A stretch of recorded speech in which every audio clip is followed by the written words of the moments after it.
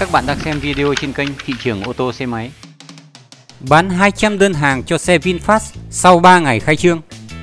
Đại diện Mark Moto và VinFast cam kết giá xe Clara sẽ đúng với giá niêm yết mà VinFast công bố.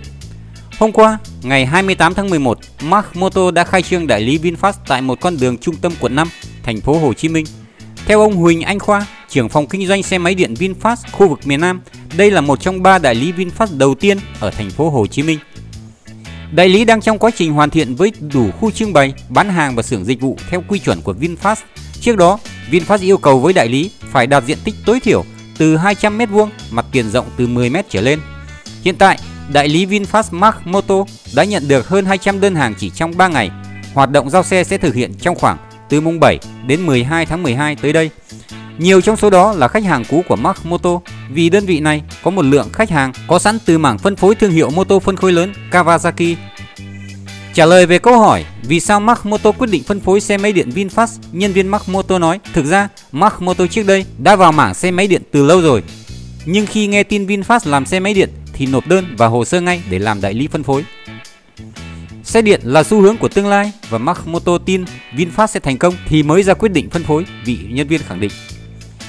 Mối quan tâm của khách hàng trong đại lý VinFast vừa mới mở vẫn là những câu hỏi liên quan đến pin như bao lâu phải sạc pin, hệ sinh thái chừng nào mới phát triển xong.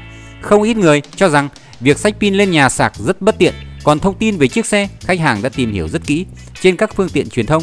Nhân viên Mark Moto cho hay, hiện tại đã có nhiều thông tin về VinFast Clara Lithium Ion tại buổi khai trương. Ông Huỳnh Anh Khoa có nói thêm về Clara phiên bản ắc quy axit chỉ.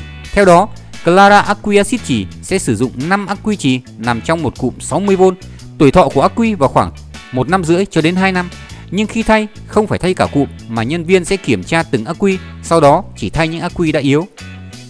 Tham khảo trên thị trường, giá của mỗi ắc quy vào khoảng 400 đến 600 ngàn đồng. Đối với thắc mắc về việc đổi pin lithium ion, ông Huỳnh Anh Khoa cho biết VinFast đang trong quá trình hoàn thiện dịch vụ này từ nay cho đến năm 2020. Hiện nay chưa thể công bố thông tin gì về việc đó. Về câu hỏi liệu có chuyện các đại lý không bán đúng giá niêm yết hay không, phía Mark Moto cho rằng đại lý sẽ bán đúng giá niêm yết do VinFast đưa ra, không có chuyện thấp hay cao hơn. Trong khi đó, ông Huỳnh Anh Khoa cho biết VinFast sẽ có những chính sách yêu cầu các đại lý phải bán đúng giá, bảo đảm quyền lợi cho khách hàng.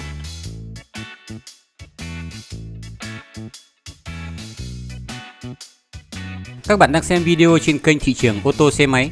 Chúng tôi luôn đem đến cho các bạn những thông tin bổ ích và lý thú với hình ảnh minh họa sắc nét và đẹp mắt.